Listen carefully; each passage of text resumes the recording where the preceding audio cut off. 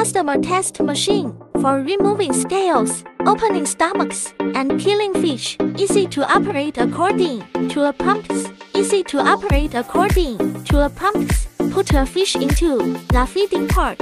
Wait for 5 to 7 seconds. It can automatically drop from the discharge part. Scale clean, open neatly. The depth of the blade can be adjusted. Don't worry about cutting the fish gallbladder. Causing odor change.